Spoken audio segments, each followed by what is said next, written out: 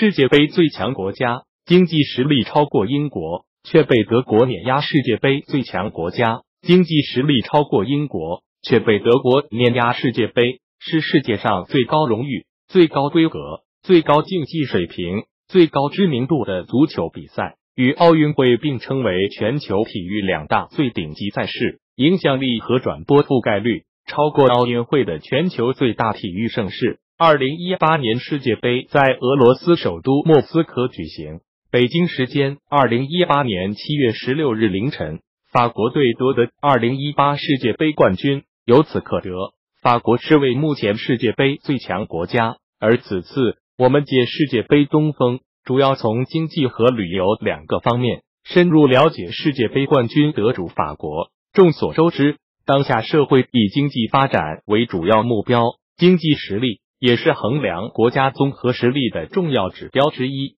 法国虽为世界杯最强国家，但其经济实力却距离世界之最甚远。截至目前，法国以两万五千七百四十八点一亿美元的 GDP 总量位居世界第五。这样的经济水平虽不是世界之最，但仍让大部分国家羡慕至极。就拿英国来说，英国是一个高度发达的资本主义国家。号称欧洲四大经济体之一，其国民拥有较高的生活水平和良好的社会保障制度。英国现作为英联邦元首国、八国集团成员国、北约创始会员国，其 GDP 总量为两万五千六百五十点五亿美元，低于法国九十七点六亿美元。在众人心中，英法两国是欧洲老牌强国，也是知名度最高的两个国家。其实还有部分强国被忽略，这其中就包括德国。德国是高度发达的国家，也是欧洲四大经济体之一，